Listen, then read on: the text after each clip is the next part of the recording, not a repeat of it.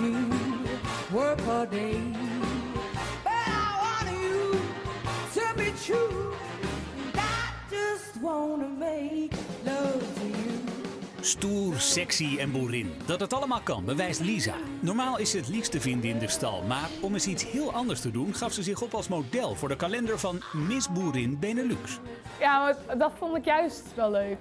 Want ehm, ja, anders loop ik gewoon eh, zo erbij. En dan is het wel eens een keertje leuk om een beetje als een eh, sexy lady eh, ja, Met succes. te staan. Ja, met succes, ja. Lisa!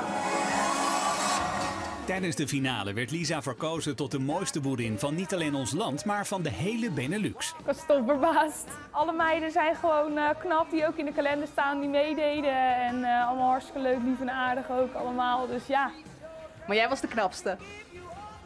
Ja het schijnt, ja, ja.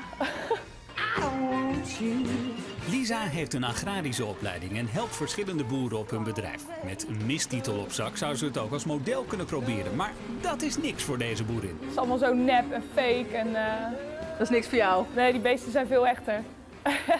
Poespas moet ze dus niks van hebben. Het liefst is Lisa bezig met haar Nubische geiten, die ze zelf fokt. Ze zijn gewoon leuk. Die geiten die zijn gewoon lekker eigenwijs. Doen gewoon lekker hun eigen ding. Allemaal leuk en aardig natuurlijk die dieren, maar voor een echte mis is er natuurlijk maar één vraag echt belangrijk. Wat is haar wens? Wereldvrede? Nee, koeien insemineren en een eigen bedrijf hebben. Just wanna make love to you.